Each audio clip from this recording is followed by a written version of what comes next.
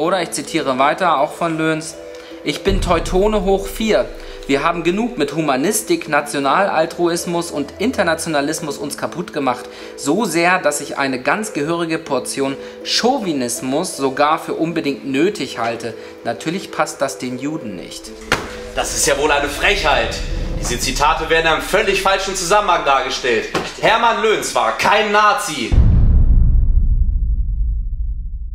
Wir sprechen uns auch noch, du kleine linke Sau.